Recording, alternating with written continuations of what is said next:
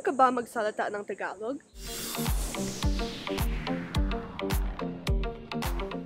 Aloha, it's Katie, or Kumusta? Ako si Katie. Today is going to be the first time ever in five years on my channel that I'm going to speak a different language. To my Filipino viewers, matagal nang nagawa ito. I asked you guys to ask me questions in Tagalog on Instagram, and ngayon, sasagutin ko ang inyong tinatanong. If you're not already subscribed to my channel, welcome to our family called the Alohana.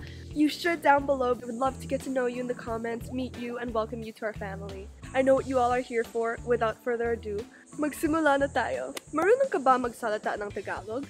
Naiintindihan ako ng Tagalog, kaya lang, yung magsalita ko, medyo kinakalawang, um, as you can see.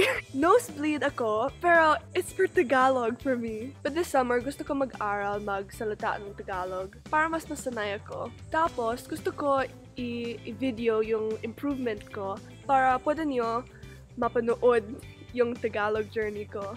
Try saying, Minikaniko ni Monica ang makina ni Monica. Okay. Nagsasalita ka ba ng Tagalog pag Filipino rin kasama mo? Oo, I try my best. Kaso lang, iilan lang yung kaibigan sa yung kolehiyo ko na, na marunong magsalita Tagalog. So mahirap, mahirap ng practice. Bakit mong pinili na mag-aral abroad at hindi sa Pilipinas? Based on yung research ko, sa Pilipinas, kailangan alam mo yung kurso um, na kukunin mo. Pero hindi sigurado pa ako.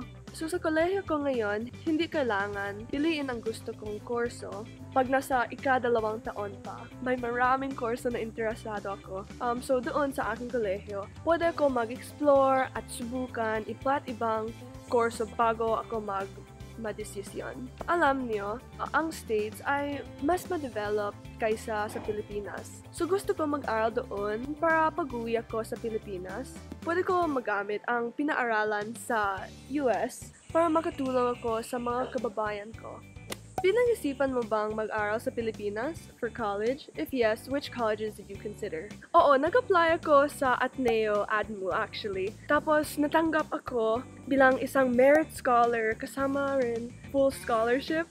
To be honest, sobrang sobrang nagulat ako kasi hindi ako akalain na natanggap ako. Kaya lang, bago yan, nag-enroll na ako sa kolehiyo abroad. If you're curious about life at Ateneo though, yung kaibigan ko si Raya Moral on YouTube ay nag-aaral doon ngayon. Siya ay sobrang matalino at maganda sa loob at saka sa labas. Please go subscribe to her if you haven't already. Ngayon, paano maging matalino tulad mo? Hihi, love you. Love you too. Kagustuhang mapabuti akin, sari akin sarili, araw-araw lang. Sana gagamitin ko yung bigay ni Diyos sa akin para sa kabutihan. Para sa akin, sobrang importante itong tatlong D.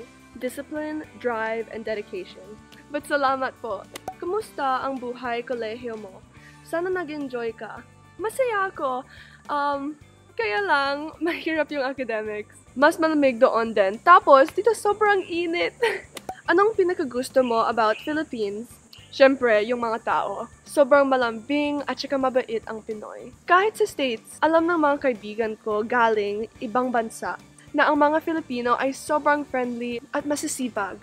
Ano ang pangunahin na may miss mo sa Pilipinas? Um, yung mga pagkain dito at ang sikat ng araw. Kasi makulimlim doon sa yung lugar ng kolehiyo ko. Lalo na kung winter. Oh, at saka shopping malls. I learned actually that among the top 10 biggest malls in the world, tatlo ang nasa Pilipinas. Ano ang paborito mong pagkain sa Pinas? Balut.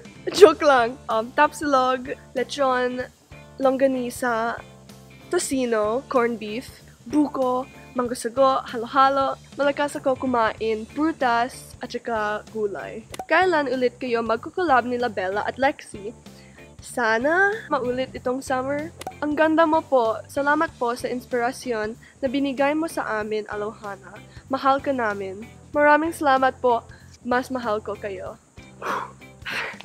There you go. That was me trying to speak Tagalog. I'm sure my grammar is a bit broken. Putol putol. But I really tried and I do hope to improve over the summer. So give this video a thumbs up if you want to see more Tagalog videos. I appreciate all of you viewers, but you know, it's really special when um, I see people from the Philippines watching me because believe it or not, only 10% of my viewers are from the Philippines. Please, please, please share this video with your friends, especially if you're in the Philippines. I'm really trying to go back to my roots. Make sure to subscribe down below and follow me on social media at AlohaKatieX so you don't miss any videos and you stay updated. Click the top right eye to watch more of my videos. And oh, don't forget to turn the notification bell on get notified when I upload a new video twice a week because a super duper exciting giveaway is coming up. I'll see you next week with another new video.